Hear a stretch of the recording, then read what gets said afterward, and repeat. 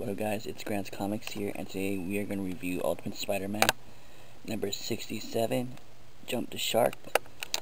So, this one is about, um, Spider-Man and Wolverine is still, um, in each other's bodies, so, um, and they're still trying to figure out the whole situation of, like, getting, um, back to their own bodies.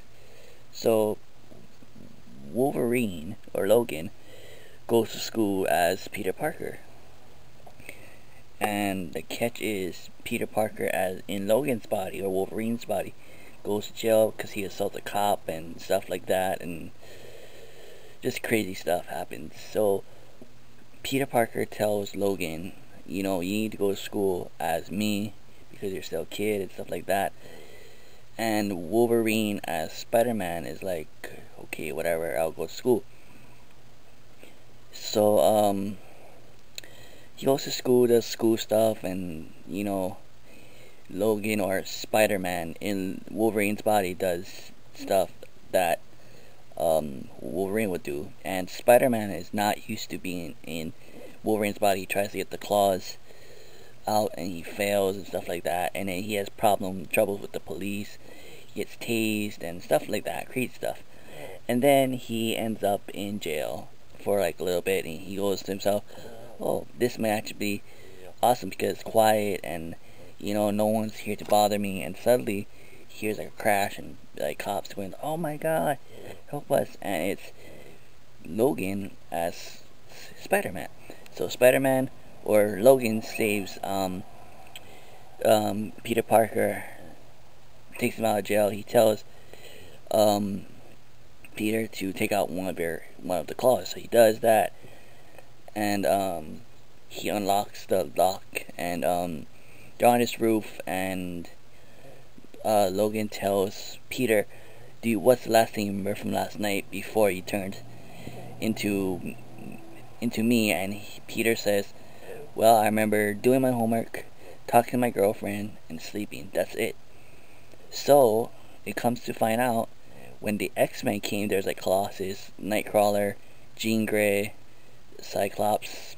When they came, Jean Grey talks to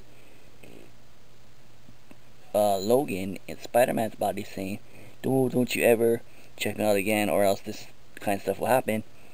So it turns to find out that Jean Grey actually did it, but he she never knew that uh, Logan will turn into Spider-Man, Spider-Man will turn into Logan, it's very co complicated to explain and tell because it they did a switcheroo kind of like Freaky Friday. but towards the end of it, um, Jean Grey turns them back into their normal body and happy ending stuff like that. So, yeah, and the funny thing that I like is um, Wolverine or Peter no yeah Peter Parker in Spider in Wolverine's body curses them out, and it's so funny. But the one thing I hate about um, this comic, it's based, it's supposed to be a children-friendly series, so every time they swear, it beeps out, which kind of sucks and not suck at the same time.